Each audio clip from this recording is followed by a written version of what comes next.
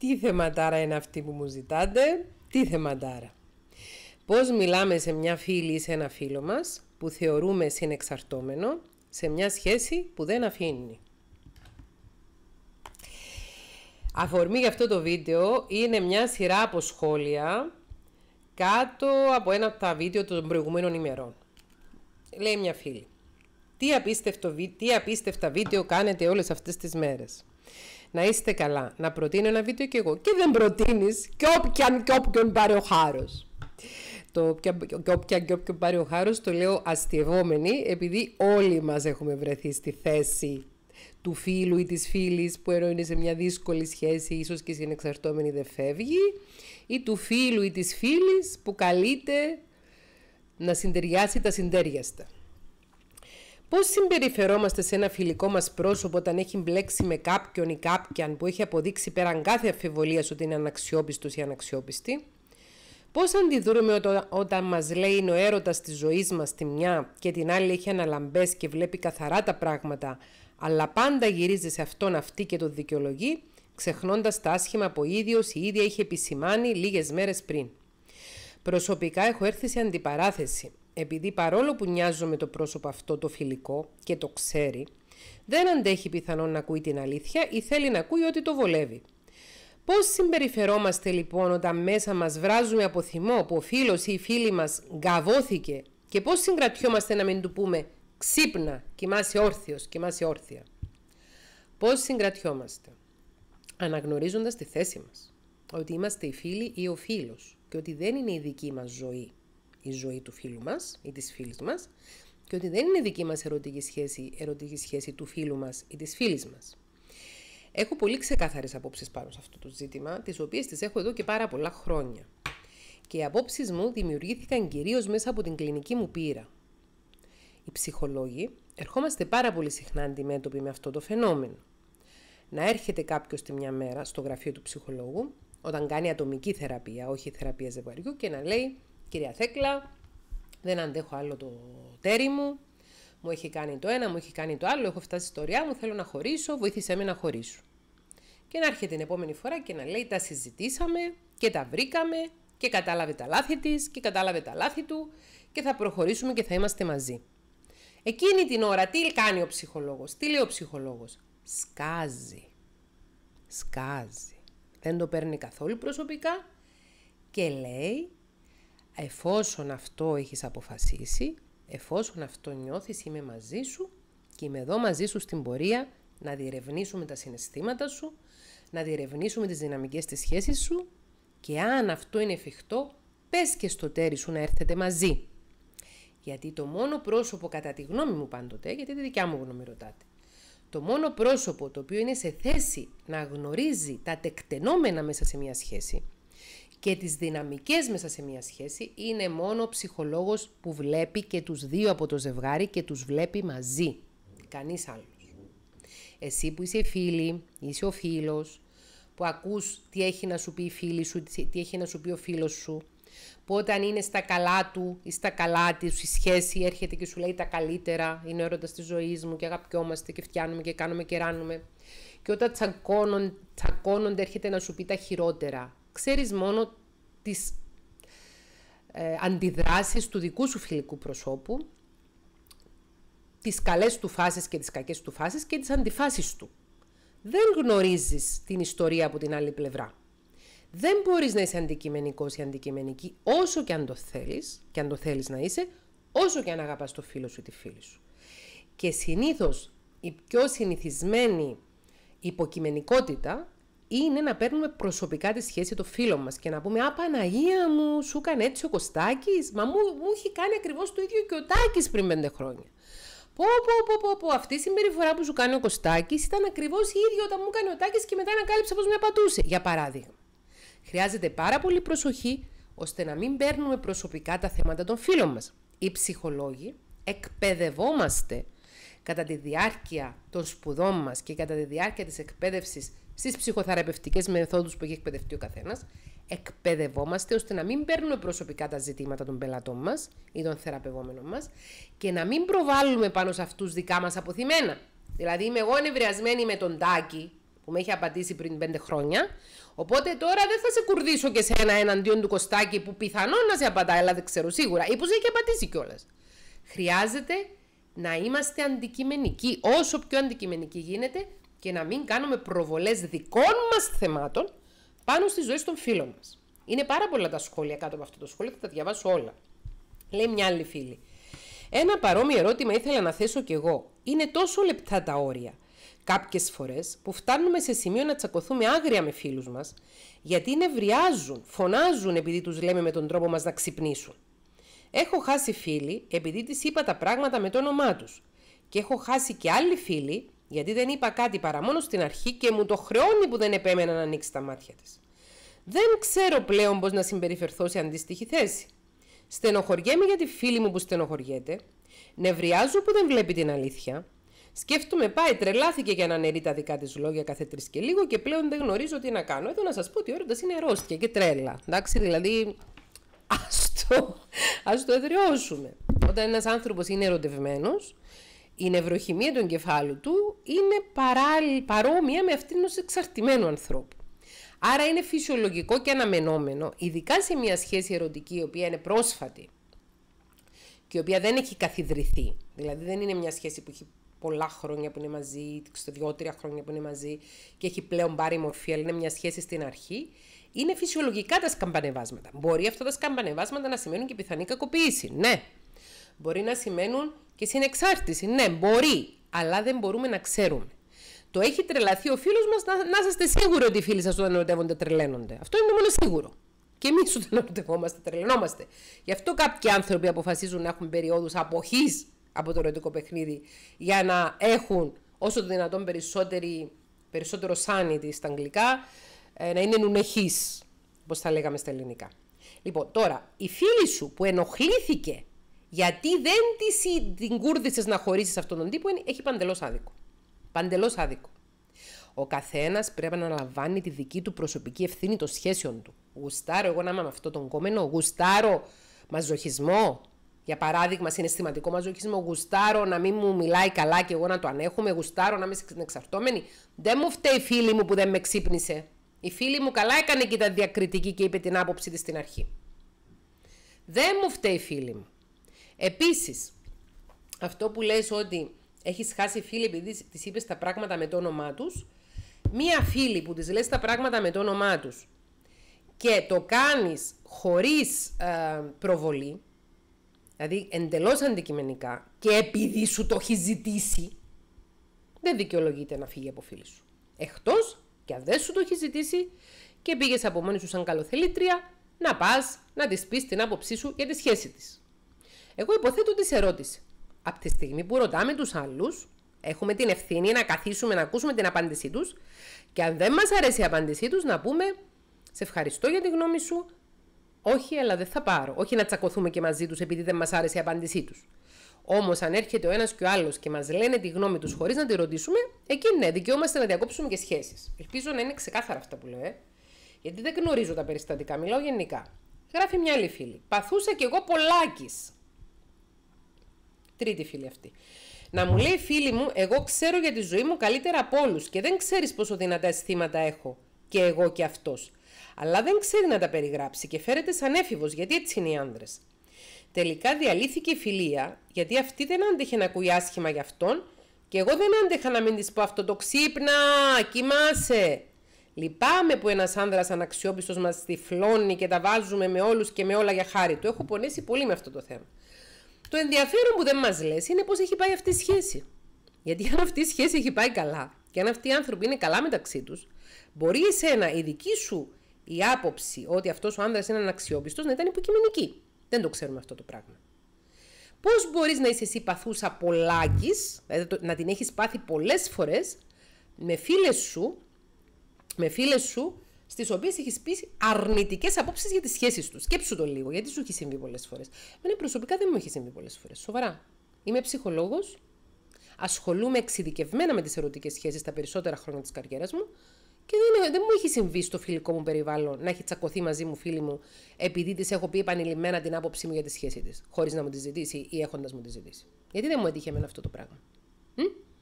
Ξέρεις γιατί δεν μου έτυχε; Νομίζω επειδή σέβομαι το προσωπικό αναφέρεται το δικαίωμα του κάθε ανθρώπου που είναι ελεύθερος και είναι ενήλικας.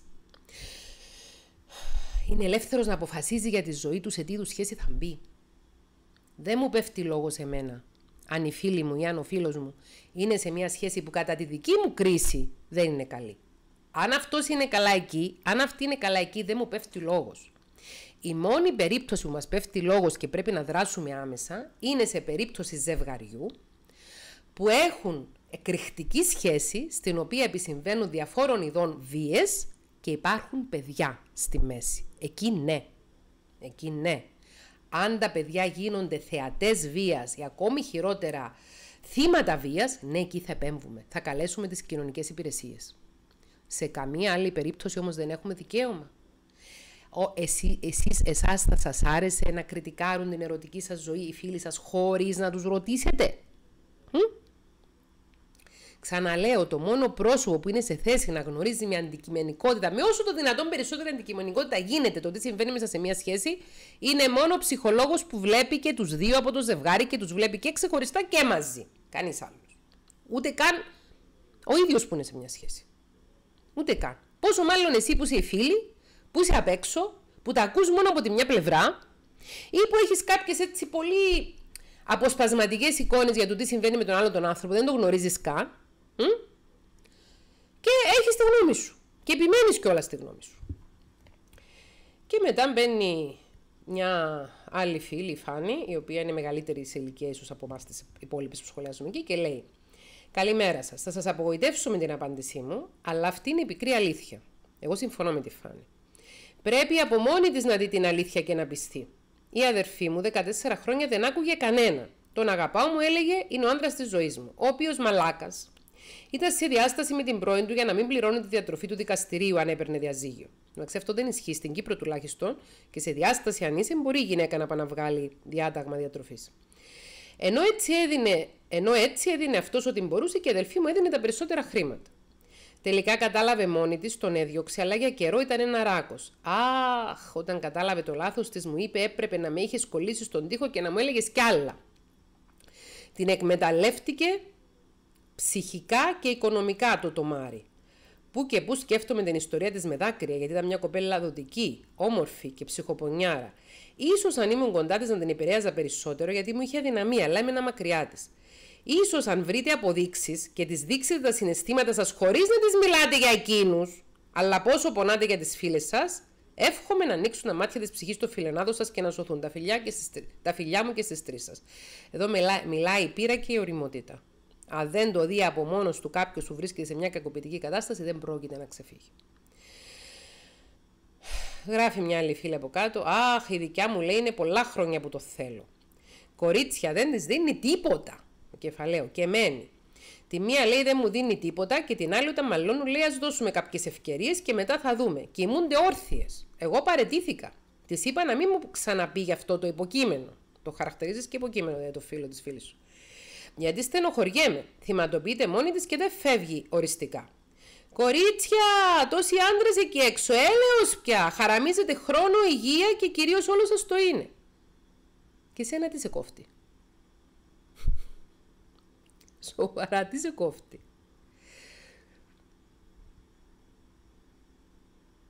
Τόσοι άντρες εκεί έξω, σοβαρά. Έχεις καταλάβει εσύ ότι ζούμε σε μια εποχή που είναι πολύ δύσκολο να βρούμε ταιριαστούς συντρόφους; Όχι ότι εγώ είμαι της άποψης ότι πρέπει να μένουμε με κακοποιητικούς συντρόφους γιατί δεν έχει άνδρες, αλλά μου φαίνεται πάρα πολύ έντονη η άποψή σου. Εξαιρετικά έντονη. Πολύ προσωπική. Γράφει και μια άλλη. Εμένα μου λέει, άσε μη ήσυχε, σχολήσου με τη ζωή σου. Εγώ, σαν μεγαλύτερη σου και κάτι παραπάνω ξέρω και λόγω της δουλειάς μου, είναι μεγαλύτερη μου 7 χρόνια, την τύφλα της δεν ξέρει. Κυρία Θέκλα, μακάρι να μας κάνετε ένα τέτοιο θέμα. Ναι, αλλά μπορεί να μην σας πω αυτά που θέλετε να ακούσετε. Έχω πονέσει πολύ από λόγια φιλνάδο μου προκειμένου να υποστηρίξουν κακούς, λίγους και άκαρδους ανθρώπους που κουβαλούν τα ψυχολογικά του αιώνα. Μα γιατί να μπαίνετε στη διαδικασία να τσακώνεστε με τις φίλες σας για τους γκόμενούς τους; Γιατί, γιατί; Μπορείτε να ξεκαθαρίσετε ότι έχω διαφορετική άποψη για σένα πάνω στη σχέση σου, σου την έχω πει επειδή μου έχεις ρωτήσει, αλλά προτιμώ να μην το συζητούμε από εδώ και πέρα, για το λόγο του ότι έχουμε διαφορετική άποψη. Γιατί είναι τόση μεγάλη έγνοια να σώσουμε τα θύματα. Και λέει και η επόμενη, εμένα κορίτσια μου έχει πει να ασχοληθώ με τον κόμενό μου και να μην της κατηγορώ το κελεπούρι, επειδή δεν το γνωρίζω σε αυτή. Και σε ρωτάω, γνωρίζεις τον κόμενό της καλύτερα από ότι γνωρίζει αυτή τον κόμενό της; Ρωτάω δηλαδή, ε, μια ερώτηση κάνω εγώ. Πιστεύει πώ θα τον αλλάξει με την αγάπη της; Της λέει τα κλασικά, είσαι ο έρωτας μου, μόνο εσένα θέλω, θα χωρίσω, αλλά ανησυχώ για το παιδί μου, η άλλη δεν μου κάνει, η άλλη δε μου κάνει τη ζωή πατίνη. Ξέρετε, το ίδιο ποιηματάκι που λένε όλοι παντρεμένοι. Ακριβώς το ίδιο. Και ενώ παλιά συμβούλευε φίλες της, τώρα εδώ και μια εννιά ασχολείται με έναν τέτοιο κατά διαστήματα. Και όταν της τα λέω, δεν της αρέσει ο τρόπος μου. Της προτείνω να μην της ξαναπώ γι' αυτό και ούτε αυτό θέλει. Δικαιούσε να μην της ξαναπείς γι' αυτό. Δεν του προτείνεις. Θα της προτείνεις. Θέλεις να μην σου ξαναπώ για το φίλο σου; Όχι. Το αποφασίζεις και το πράττεις. Δεν της ξαναλέ για το φίλο σου. Της λέω ξύπνα, δεν ξυπνάει. Θέλει να ακούει όταν το βρίζει ήδη πω είναι καθήκη και όταν τα βρίσκω να τη λέω και μπράβο. Όχι. Δικαιούσε να αποχωρήσεις από αυτή τη συζήτηση. Γιατί όπως λέει, είναι ο έρωτας της ζωής της. Ο έρωτας είναι κάτι όμορφο. Δεν σε γονατίζει μπιπ μπιπ μπιπ. Ξυπνάτε! Άντε με τον κάθε ηλίθιο που μας τυφλώνει και αφισβητούμε μέχρι και φίλες μας. Για μένα, βασικό χαρακτηριστικό της φιλίας είναι να σεβόμαστε τις επιλογές των φίλων μας. Έστω και αν διαφωνούμε με αυτές. Γράφει μια άλλη φίλη, είναι κατάντια δυστυχώς να μην σου βγαίνει κάτι, να έχεις όλα τα δείγματα και να επιμένεις γιατί δίθεν ζεις τον έρωτα τον μεγάλο. Έναν έρωτα κάθε άλλο παρά υγιής. Σταματήστε να είστε θύματα. Εγώ θα έλεγα να σταματήσετε κι εσείς να είστε θύματα. Με δυσκολεύει πάρα πολύ αυτό το πράγμα γιατί βλέπω έτσι ένα στοιχείο κατάκρισης σε όλα αυτά τα σχόλια που διαβάζω, όχι σε όλα, στα περισσότερα. Γράφει μια άλλη φίλη, εγώ δεν θα ξανασχοληθώ. Θέλουν να φάνε το κεφάλι τους, ας το φάνε. Ό,τι και να πω, χαμένο πάει. Είναι ψυχοπάθεια για μένα όλο αυτό. Επειδή στενοχωριούνται ενώ ξέρουν εξ αρχής τι είναι αυτός αυτοί και επειδή μόνοι τους και μόνες τους προσδοκούν άλλα και φαντάζονται άλλα. Παραπονιούνται κατά διαστήματα και μυαλό δεν βάζουν. Α μην βάλουν. Εγώ τα νεύρα μου δεν θα τα χαλάζω για καμία φίλη μου όσο και αν την αγαπάω. Μιλάω μια φορά και μετά δεν ασχολούμαι. Πολύ καλά κάνεις που μιλάς μια φορά και μετά δεν ασχολείσαι. Δεν μπορώ να παρηγορώ ένα άτομο που πεισματικά αρνείται να δει την αλήθεια. Α μείνει με το όποιο ηλίθιο άτομο. Ούτε μου αρέσει κιόλας που λες ηλίθιο άτομο το φίλο της φίλης σου. Δεν είναι δυνατόν να την έχεις πάθει χίλιες φορές και να επιμένει να ασχολείσαι με τον ίδιο τύπο ανθρώπο. Λύσε τα θέματα σου και εσύ και ο κάθε άλλος που κάνεις σχέση και μετά τα ξαναλέμε. Αυτά να τη τα πεις και τελειώνει η κουβέντα. Για, γιατί τόσο πατριωτισμός σε αυτό το θέμα; Μήπως επειδή έχουμε και εμείς δικά μας κατάλοιπα, μήπως και επειδή και εμείς μπορεί να την είχαμε πάθει στο παρελθόν έτσι, μπορεί να φοβόμαστε μην την πάθουμε; Λέει και μια άλλη, κορίτσια, μα δεν θέλουν να καταλάβουν να σπάνε να πνιγούν, που λέει και ο λόγος. Είναι πολύ μεγάλος ο λόγος και πολύ βαρύς ο λόγος και δεν μου αρέσει να σπάνε να πνιγούν. Πώς αγαπάμε το φίλο μας, σα λέμε, να σπάει να πνιγεί. Προειδοποιούμε μια-δυο φορές και αν τα βάλουν μαζί μας, τότε άντε γεια. Αν θέλουν να ζήσουν την παράνοια, ας τη ζήσουν. Αν βλέπουν τον κάθε μαλάκα ως ιδανικό, τότε τι δουλειά έχετε με τέτοια άτομα. Αν τα βάλουν μαζί σας, αν σας την πούν, να σας υψώσουν τον τόνο της φωνής, αν ευριάσουν με εσάς που θέλετε να δείξετε προστασία και αγάπη, πείτε και ένα άντε γεια και όταν καταλάβουν αν αυτό γίνει, βέβαια τότε τα ξαναλέτε. Αλλιώς ετοιμαστείτε για φέτος πόλεμο νεύρων και πολλές στενοχώριες να βλέπετε τα φιλαράκια σας να μην είναι καλά. Και προσοχή, δεν φταίνε οι μαλάκες. Από την αρχή δείχνουν πως είναι ή έστω το πρώτο διάστημα υπάρχουν σημάδια. Όποιοι ανέχονται, ελπίζουν, προσδοκούν και εξαπαντούν τον εαυτό τους, φταίνε ξεκάθαρα. Δηλαδή φταίνε τα θύματα. Φταίνε είναι εξαρτώμενοι κατά την άποψή σας. Για εμένα, ένας πραγματικός φίλος, ένας αγαπητικός φίλος λέει Σ' αγαπάω πολύ, σου λέω την άποψή μου, αλλά θέλω να είσαι καλά. Και αν θα είσαι καλά με έναν τρόπο διαφορετικό από αυτόν που εγώ νομίζω πως θα είσαι καλά, πάλι θα χαίρομαι γιατί σε αγαπάω και χαίρομαι να είσαι καλά. Απαντάει μια φίλη ορθά, είναι πολύ δύσκολο να διαφορήσουμε για όσους αγαπάμε και να πούμε να πάνε να πνιγούν. Συμφωνώ. Είναι ναι, λέει αυτή που πήγε το πνίξιμο, αλλά δεν το κάνεις, ετοιμάσου να σπάσουν τα δικά σου νεύρα και να στενοχωριέσαι, επειδή και κοροϊδεύουν το φίλο σου ή τη φίλη σου, και επειδή θα μιλάς και θα στραβώνει μαζί σου, γιατί δεν θα θέλει να ακούσει τα όσα λες που είναι αντίθετα με αυτά που σκέφτεται. Μιλάμε για την παράνοια. Δεν ξέρω τι είναι περισσότερο παράνοια, το σχόλιο αυτό ή η κατάσταση την οποία περιγράφει. Συμφωνώ μαζί σου, λέει και μια άλλη. Είναι σκληρό, αλλά δεν θέλει κάποιος να προφυλάξει τον εαυτό του και να δει καθαρά. Είναι δικό του πρόβλημα. Και στην τελική, αν, αν ανακατευτούμε, αποδεδειγμένα θα ακούσουμε πολλές χαζομάρες. Και εμείς θα στενοχωρηθούμε από την όλη συμπεριφορά των φίλων μας απέναντί μας. Όλα αυτά θέλουν καιρό στελέ, στο μάχη. Δείτε πω ένας μακάκας δημιουργεί τόσα προβλήματα γύρω μας. Δείτε πω η επεμβατικότητα δημιουργεί τόσα προβλήματα γύρω μας. Γιατί κόρη μου, γιατί κόρη μου να πρέπει να ελέγξεις εσύ την ερωτική ζωή της φίλης σου. Γιατί, γιατί, γιατί είσαι ψυχολόγος της. Είναι το, το ανήλικο παιδί σου η φίλη σου. Γιατί. Λέει και μια άλλη, εμένα έσπασαν τα δικά μου νεύρα. Είδα μια άλλη φίλη που δεν ήξερα να μου λέει: Δεν ξέρεις εσύ, εγώ ξέρω. Ασχολήσουμε τη ζούλα σου, φωνές, κακό κλπ. Και, και δεν μπορούσα να αντιδράσω γιατί σκεφτόμουν τα εννοεί όντως. Η λύση είναι τελικά να τους αφήσουμε να φάνε τα μούτρα τους. Αν και τα τρώνε και συνεχίζουν. Δεν ξέρω, απελπίστηκα. Μα γιατί απελπίστηκες, δεν είναι δική σου ζωή. Το αντιλαμβάνεστε ότι οι φίλοι μας δεν είναι τα παιδιά μας και ότι δεν μας ανήκουν οι φίλοι μας. Θέκλα μας, τι προτείνεις εσύ, εγώ προτείνω αυτό που προτείνω εδώ στο vlog.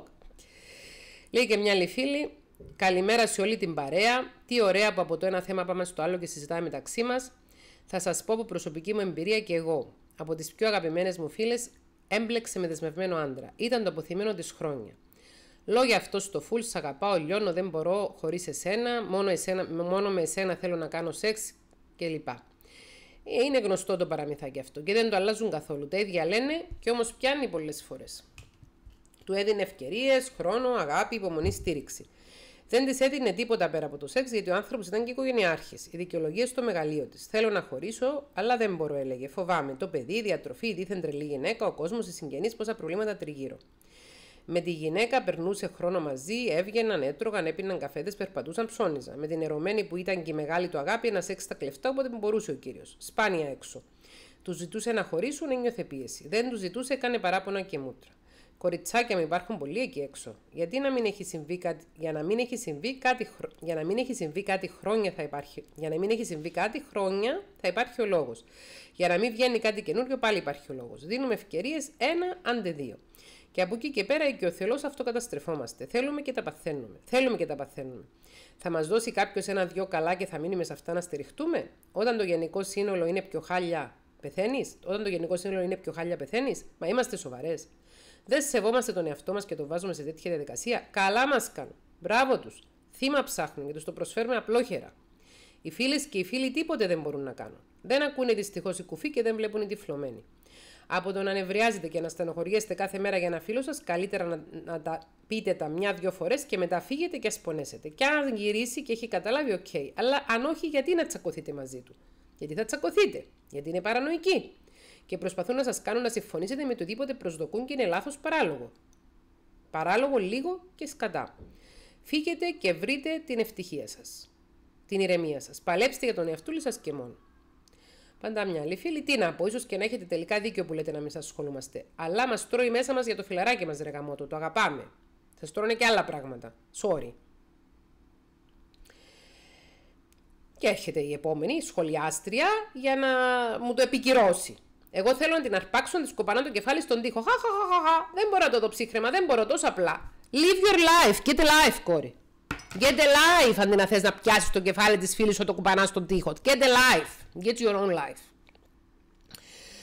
Χαχαχα, και εγώ άλλη υπομονή δεν έχω πια. Όποιος δεν έχει υπομονή σταματάει να συζητάει για αυτό το θέμα. Αχ, βρε κορίτσια, αχ. Αν δεν καταλαβαίνουν, ίσως δεν έχουμε και άλλη επιλογή από το να πάρουμε κάποιες αποστάσεις για να μην καταλήξεις σε καυγά αυτό. Γιατί αν συνεχίσουμε τότε, πώς να κρατηθούμε να μην πούμε σε ένα πρόσωπο που αγαπάμε πως δεν το αξίζει αυτό που περνάει; Δεν νομίζω πως μπορούμε να μείνουμε αμέτωχοι σε έναν πραγματικό φίλο. Ούτε το να σκάμε μέσα μας είναι η λύση. σω η απόσταση, δεν ξέρω πια. Όμως μες στενοχωρεί πολύ αυτό και το έχω περάσει αρκετές φορές. Πώς να δεχτώ πως οι άνθρωποι που αγαπώ έχουν τυφλωθεί και μου φέρονται άσχημα επειδή λέω τη γνώμη μου;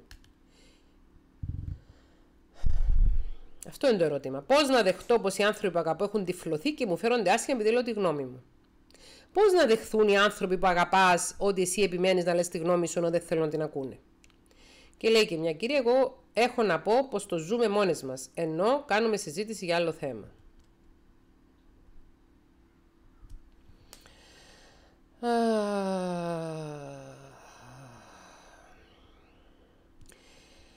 Ρώτησα μια φίλη μου Της λέω: Έχω να κάνω αυτό το θέμα. Και μου λέει: Πες της, και πες σε αυτές τις φίλες να αφήσουν τι φίλε, τις φίλες τους ήσυχες. Δεν τους πέφτει λόγος. Αν ζητήσει η φίλη της τη γνώμη της, να της την πει ειλικρινά. Μέχρι εκεί όμως.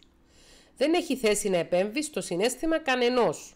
Ούτε να επιβάλλει σε κανέναν, με κανέναν τρόπο χειριστικό ή αλλιώτικο κάτι. Να αφήσει τη φίλη να το ζήσει και να φάει τα μούτρα της αν τα φάει. Θα ξυπνήσει μόνη της. Αν χρειαστεί να ξυπνήσει. Μπορεί να επέμβει και να την τραβήξει από τα μαλλιά αν χρειαστεί, μόνο αν η φίλη της κινδυνεύει ουσιαστικά. Αλλιώς, μόνο αν είναι δίπλα της έχει υποχρέωση εντός εικόνοφ φίλη. Και ας διαφωνεί και ας βλέπει ξεκάθαρα όσοι άλλοι αρνείται. Δεν είναι δουλειά της. Καταλαβαίνω, θέλει να την προστατεύσει, αλλά δεν είναι δική της επιλογή αν ο άλλος δεν θέλει. Συμφωνώ απόλυτα με αυτή τη φίλη μου που μου γράψε αυτό το σχόλιο. Το δικαίωμα των ελεύθερων επιλογών της φίλης είναι σημαντικότερο. Και να μην θυμώσει και να μην τσακωθεί. Να καταλάβει και να είναι απλά stand-by για όταν χρειαστεί. Αυτά ίσως να χρειαστείς το βίντεο που θα κάνεις να ορίσεις την εφηλία πρώτα. Α, και να της προτείνει ψυχοθεραπεία. Θα τη βοηθήσει η ψυχοθεραπεία να καταλάβει γιατί θεωρεί έρωτα της ζωής της έναν τέτοιον άνθρωπο και γιατί και ο Θεός πληγώνεται. Αν νομίζει ότι αυτό της αξίζει για κάποιο λόγο, κάνει λάθος. Κανείς δεν αξίζει να υποφέρει. Να είναι ευτυχισμένη της αξίζει. Και το να είσαι με κάποιο συντροφικά, αν δεν σε κάνει ευτυχισμένο, πρέπει να φύγεις. Υπάρχει αυτός που θα σε κάνει χαρούμενη. Όσο μένεις στα άρρωστα, Καθυστερείς να τον βρεις, καθυστερείς και την ευτυχία σου μαζί. Ίσως έτσι με την ψυχοθεραπεία μπορέσει η αναλαμπή που τρώει αναφάσεις να γίνει μόνιμο ξύπνημα. Ευχαριστώ πάρα πολύ τη φίλη μου που γράψε αυτό το, το σχόλιο. Της είπα δεν σε εκείνα τα σχόλια κάτω από αυτό το βίντεο. Θα κάνω βίντεο, γράψε μου και εσύ τη γνώμη σου. Let's all get alive. Α βρούμε όλοι μια δική μας ζωή. Α ζήσουμε όλοι και όλες τη δική μας ζωή και ας αφήσουμε τους ανθρώπους που αγαπάμε, είτε αυτοί είναι παιδιά μας ενήλικα, είτε είναι φίλοι μας, να ζήσουν τη δική τους ζωή. Δεν γίνεται να παίρνουμε εμείς αποφάσεις ζωής για άλλους ανθρώπους. Η γνώμη μου είναι να σεβόμαστε την ελευθερία επιλογής του κάθε ανθρώπου. Λέει, σέβομαι το δικαίωμα σου να διαφωνείς μαζί μου όσο και αν διαφωνείς μαζί μου. Πρέπει να καταλάβουμε ότι η ερωτική ζωή είναι προσωπική ζωή αυτού που τη ζει. Αν θέλουμε να προσφέρουμε ουσιαστική βοήθεια, θα πούμε πει, πιάστε τον έρωτα της ζωής σου και πηγαίνετε στο ψυχολόγο, στη ψυχολόγο μαζί. Εγώ δεν είμαι ψυχολόγος, δεν μπορώ να σε βοηθήσω. Η ψυχοθεραπεία είναι η λύση σε αυτές τις περιπτώσεις. Δεν είμαι ψυχολόγος, δεν ξέρω πώς να διαχειριστώ τα ερωτήματα που θέτεις, δεν ξέρω πώς να αντιδράσω στις μεταπτώσεις που έχεις, γιατί δεν πας σε ένα ψυχολόγο να πάρεις επαγγελματική βοήθεια; Αυτό, κατά τη γνώμη μου, είναι το πιο υγιές να κάνω. Και αν μας ενοχλεί αυτό το σκαμπανέβασμα ε, και δεν θέλουμε να συμμετέχουμε ούτε στη φάση που θα γινόμαστε κόμμα με τη φίλη μας ή το φίλο μας να, να κατηγορούμε τον κακό, τον κακό σύντροφο ή την κακιά σύντροφο όταν είναι τσακωμένοι και να γινόμαστε κόμμα να λέμε τα καλύτερα όταν είναι στα καλά τους, ξεκαθαρίζουμε τη θέση μας. Διακριτικά. Όταν αγαπάς πραγματικά το φίλο σου, θέλεις ο φίλος σου να είναι καλά και σέβεσαι την ελευθερία επιλογών που έχει, όπως και εσύ έχεις ελευθερία επιλογών. Η φιλία είναι πολύ σημαντική σχέση στη ζωή των ανθρώπων. Για μένα η φιλία, για μένα προσωπικά, είναι η ιερότερη του έρωτος. Σοβαρολογώ. Με ποια έννοια; Με την έννοια ότι στον έρωτα υπάρχει και το κομμάτι το σαρκικό, υπάρχει το κομμάτι το χτινόδες, το κομμάτι της σαρκικής έλξης, της φυσικής έλξης. Γουστάρεις ρε παιδί μου να μπεις σε έναν έρωτα γιατί θα περάσεις ωραία σωματικά, σεξουαλικά, ερωτικά. Στη φιλία όμως επιλέγεις να συνδεθείς ε, αγαπητικά με έναν άνθρωπο που τον επιλέγεις να γίνεις συγγενής σου. Επιλέγεις να συμπορευτεί τη ζωή με αυτόν τον άνθρωπο. Και υπάρχουν φιλίες που κρατάνε δεκαετίες ολόκληρες. Υπάρχουν φιλίες οι οποίες έχουν αντέξει τα πάνδυνα μεταξύ των φίλων. Σας πω μια δική μου εμπειρία. Μια πολύ καλή μου φίλη, που την αγαπώ κατάκαρδα, ολόκαρδα, ξέρει ποια είναι, και είναι στη ζωή μου 33 χρόνια είναι στη ζωή μου. Σε κάποια φάση, όταν ήμασταν, ξέρω εγώ, 25 χρονών, 30 χρονών περίπου, γύρω στα 30, παντρεύτηκε και έκανε και ένα παιδί. δεν ζει στην Κύπρο. Εγώ προσπαθούσα να επικοινωνήσω μαζί της γιατί είχαμε πάντοτε πολύ στενή σχέση και με απέφευγε. Υποψιάστηκα ότι δεν θα περνούσε καλά στο γάμο της. Δεν της είπα απολύτως τίποτα. Έσκασα. Της είπα είμαι εδώ, όποτε με θες είμαι εδώ να μιλήσω μαζί σου. Κάποια χρόνια μετά, όταν κατέρευσε ο γάμος της και ήταν σε πολύ δύσκολη ψυχολογική κατάσταση, με έψαξε, συναντηθήκαμε, μου άνοιξε την καρδιά της, μου είπε όλα όσα πέρασε εκείνη την περίοδο, μου εξήγησε αυτό που δεν μπορούσα να καταλάβω γιατί είχε αποκοπεί ότι ο άνδρας της, το, το πρώην σύζυγός της δεν ήθελε να έχει σχέσεις με άλλους ανθρώπους, την είχε κατά κάποιον τρόπο αποκόψει από τους φίλους της και δεν έμεινε εκεί η γνωριμία μας και η φιλία μας, το να μου πει μόνο τα προβλήματά μας, συνεχίσαμε τη φιλία μας από εκεί που την είχαμε αφήσει. Πατήσαμε ένα pause. Δεν της κρατάω καμία απολύτως κακία για εκείνα τα χρόνια που δεν είχαμε επαφή. Δεν τη θεωρώ ότι δεν είναι φίλη μου επειδή δεν μου το εμπιστεύτηκε τότε εκείνο το πράγμα. Της αναγνωρίζω το δικαίωμα στην προσωπική της ζωή. Μια άλλη φίλη μου είχε περάσει μια πολύ άσχημη περιπέτεια υγείας, εξαιρετικά άσχημη περιπέτεια υγείας. Με ενημέρωσε και μου είπε: Θέλω να κλειστώ στον εαυτό μου. Τώρα, μετά από αυτή την άσχημη περιπέτεια υγείας που έχω, θέλω να την περάσω και επίσης μου λέει: Θέλω να χρησιμοποιήσω κάποιες εναλλακτικές μεθόδους θεραπείας. Που εσύ μπορεί να μην συμφωνείς. Της είπα: Δικαίωμά σου, αγάπη μου. Εγώ θα είμαι μαζί σου. Κάνε ό,τι είναι καλύτερο να κάνεις για τον εαυτό σου και για την υγεία σου. Και τα κατάφερε. Τα κατάφερε να βγει αλόβητη μέσα από αυτή τη διαδικασία. Μπορεί να μην ακολούθησε τη διαδικασία που θα ακολουθούσα εγώ. Ακολούθησε είχε όμως κάθε δικαίωμα να επιλέξει πάνω στο σώμα της, πάνω στη ζωή της, τι διαδικασία θα ακολουθούσε. Εντάξει. Δεν λέω λεπτομέρειες, δεν έχει κάνει κάτι παράνομο. Απλώς δεν είναι τόσο πολύ της κλασικής ιατρικής αυτό που είχε κάνει. Δικαίωμά της. Δικαίωμά της. Δικό της σώμα. Δική της ζωή. Θα αποφασίζω εγώ πώς θα ζήσει η φίλη μου τη ζωή της. Ούτε θα το πάρω εγώ προσωπικά αν η φίλη μου έχει διαφορετική γνώμη από μένα. Δεν ξέρω. Όταν ήμουν μικρότερη και ανοριμότερη και ανώριμη, ζήλευα πάρα πολύ τις φίλες μου, το έχω ξαναπεί. Ειδικά αυτές που ήταν όμορφες και εγώ νιώθω ότι ήμουν άσχημη, νόμιζα η Παλαβή ότι ήμουν άσχημη, τις ζήλευα. Δεν τις φθονούσα, τις ζήλευα. Θα ήθελα πολύ να ήμουν σαν κι αυτές. Οπότε όταν αυτές είχαν σχέση και εγώ δεν είχα σχέση, ζήλευα. Όταν αυτές ήταν ερωτευμένες και εγώ δεν ήμουν ερωτευμένη, ζήλευα. Όταν αυτές είχαν κάτι που δεν είχα εγώ, ζήλευα. Και πολύ φοβάμαι πως οι συμβουλές που τους έδινα, μιλάω τώρα πρωτού γίνω ψυχολόγος, δεν είμαι τελώ μικρή. Και οι συμβουλές που τους έδινα ήταν προκατηλημένες είχαν να κάνουν από το δικό μου αποθυμένο ότι εγώ γιατί να μην, να μην είμαι όμορφη, γιατί να μην είμαι ωραία, γιατί να είμαι με τα γόρια. Προσέξτε μήπως το κάνουμε αυτό το πράγμα τώρα. Δεν λέω ότι οι φίλες σας μπορεί να μην είναι σε σχέσεις που να μην είναι κατάλληλες για αυτές.